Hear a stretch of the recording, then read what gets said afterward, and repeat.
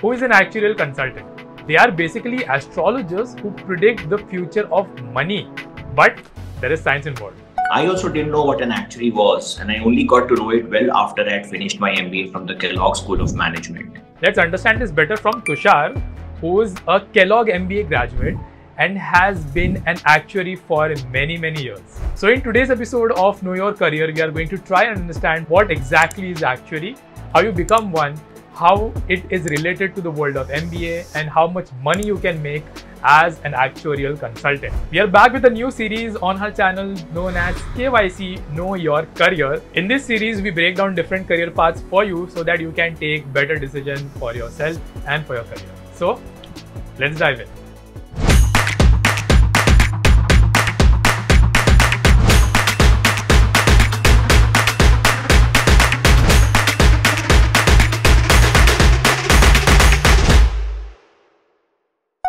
So, what do actuaries do? So, actuaries do a lot of different things, but the prime job of an actuary is to assess risk and advise clients on buying products in the insurance space, whether it is life insurance, health insurance, car insurance, and home insurance. A little known fact is that actuaries are also responsible for figuring out how much money do we have in our pension fund account so that when we retire, the government is able to provide us adequate pension. And because it is an assessment of risk and liability in the future, it requires a huge amount of understanding and complex calculations, such as mathematics, economics, accounting. They all come together, and you need to know all of these things so that you're able to assess the risk properly. But uh, actuaries are being used everywhere. Elon Musk recently had an actuary at Tesla, and he wanted to understand how to make the car such that uh, whenever there is an accident, the parts that are most frequently impacted can be made into low cost parts. Mm-hmm. For example, say the bumper of a car. If the actuaries tell you that the bumper of a car is one of the most damaged items in an accident, then can we make the bumper of a car such that when you replace it, it costs you less money?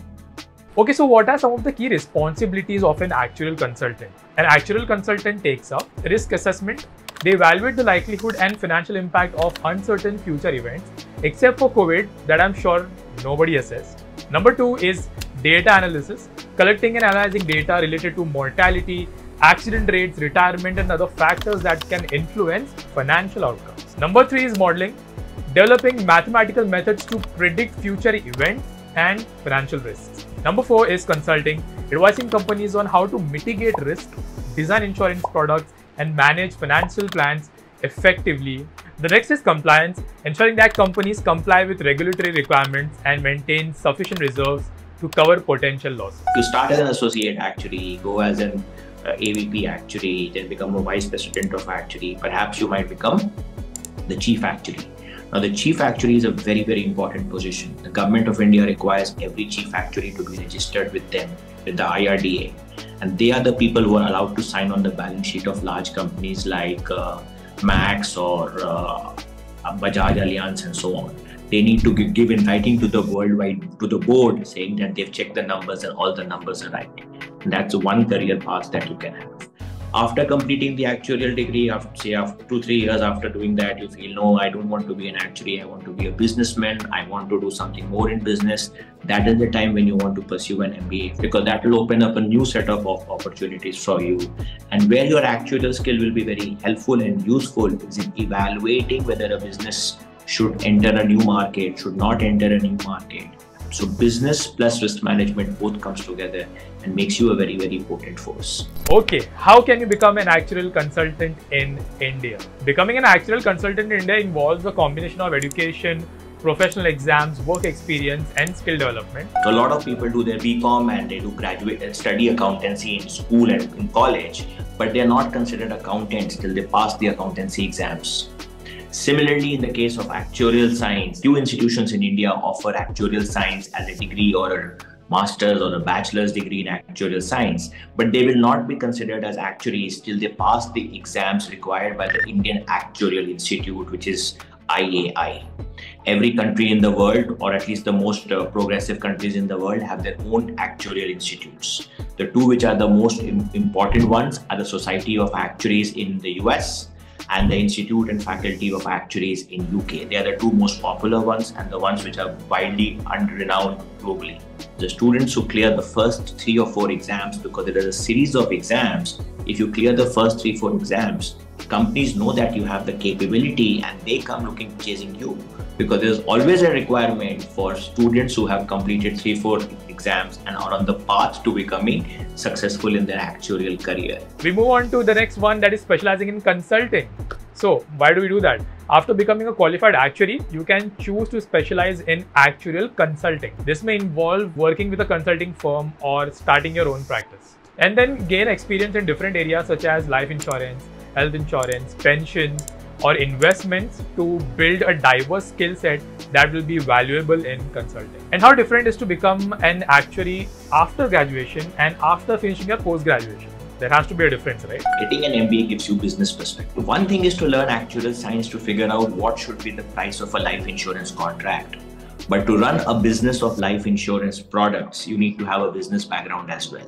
So having an MBA as an add-on really helps you figure out how to make a life insurance business or a healthcare business instead of just knowing how to price the risk or how to advise clients on a risk. So it's a good degree to have, not a necessary degree to have. How much can you actually make as an actuary in India? Let's start with entry-level actuarial consultants. Salary ranges between 6 to 12 lakhs per annum. These are typically individuals who have cleared a few actuarial exams and have 1 to 3 years of experience. Then we move on to mid-level actuarial consultant. The salary range between 12 to 25 lakhs per annum. Why they get paid more?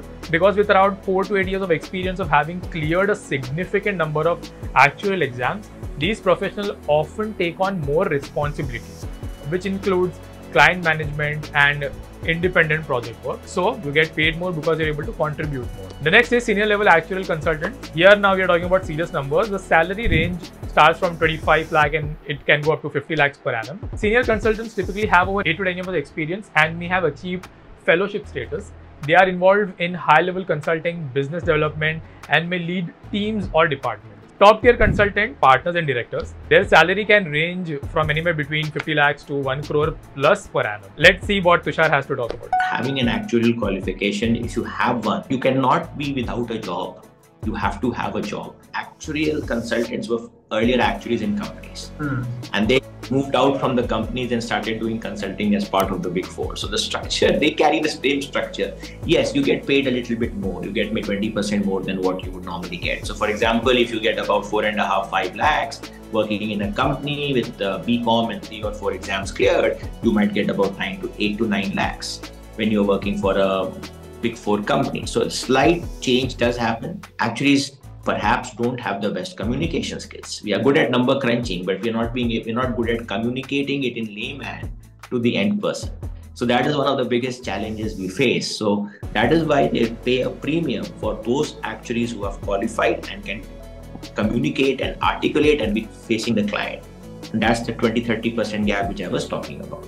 So now let's talk about which are these companies that hire actuarial consultants in India. Several companies in India actively hire actuarial consultants, particularly in the insurance, finance, and consulting sectors. Here are some of the prominent employers. Number one is insurance companies. Life Insurance Corporation of India, LIC, HDFC Life Insurance, ICICI Prudential Life Insurance, SBI Life Insurance, Max Life Insurance, General Insurance, New India Insurance, ICICI Lombard General Insurance, Bajaj Allianz General Insurance, Reliance General Insurance. Now we come to health insurance. We have Star Health and Allied Insurance, Apollo Munich Health Insurance. Moving down, Max Bupa Health Insurance. Second type of companies are consulting firms. So we have global consulting firms such as Deloitte, PwC, EY, KPMG, Milliman. Now let's talk about actuarial specific consulting firms.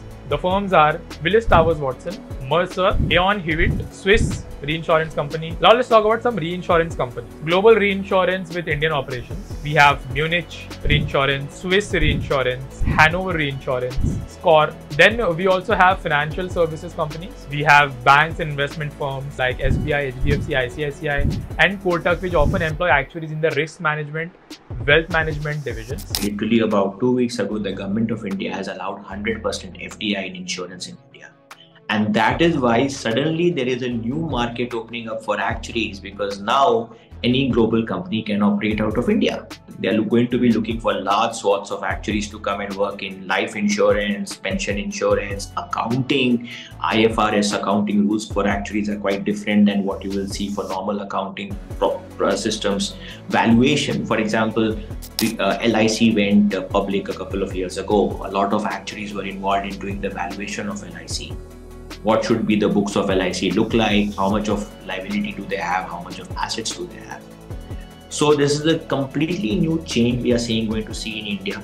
And this is going to be ushered in with new com- companies taking control, setting up branches and shops. So this is just the right time for somebody who's pursuing BCom and looking to make a career which is alongside an MBA.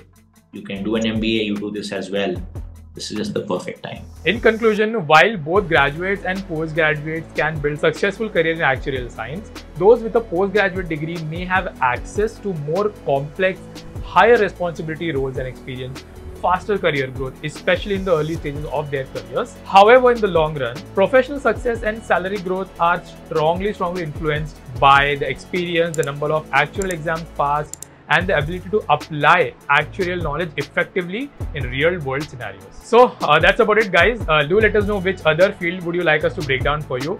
Meanwhile, this is Sarah from Team Inside. I am signing off.